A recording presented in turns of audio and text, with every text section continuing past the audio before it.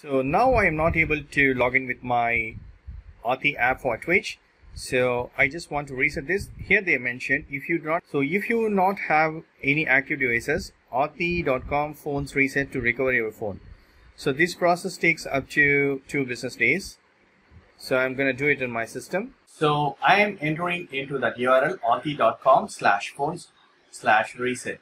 So here, what problem are you having with Authy? I can't install Authy. I am unable to install Authy or I am seeing error that multi-device is disabled for my account. So this is my issue.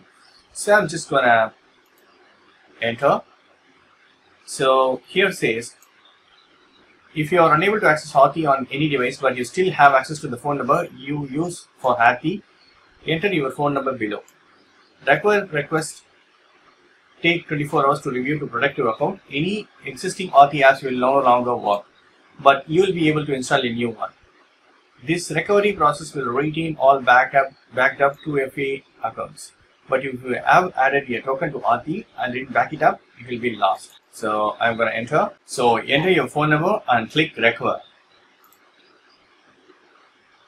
Success, we have sent you an email with a link to start the account recovery process. Open your email and click on the button to start. So I have received an email a request to recover the 2FA account for the number. For greater security, this process will take 24 hours and disable all Authy app installations on your account and allow you to reinstall Authy again using SMS or voice. QR 2FA codes you have backed up will not be deleted.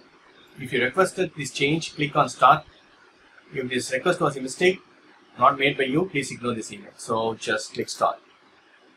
So here we have started the process to recover your 2FA account. This process will take 24 hours as peer review. We'll see if we are getting any reply from this Authy customer team, support team. Hey guys, after 24 hours I'm making this video. I just got a message from my mobile and my, uh, to my email. I got successful message. My Twitch uh, app account got recovered you would have seen this previous video so I have just started. See on uh, 2 p.m 25th on the same day so I just got this message. We are processing this request to recover your 2FA account for the number. So I got a message as well. That is a great thing actually. So then and finally right today I think yesterday I have got it. So yesterday I have got this successful message on 26 2.50 p.m., we have recovered the 2FA account for the following number. Any Authy apps you had installed are no longer valid. Please reinstall Authy on your devices using the number above. If you no longer have access to the number, please click here. So if you have changed your phone number, then you can click this.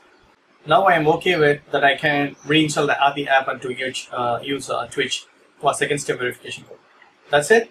You can also follow the same and I will be providing that uh, link in the description. You can use that to recover your uh, Authy app two-factor authentication recover, recovery.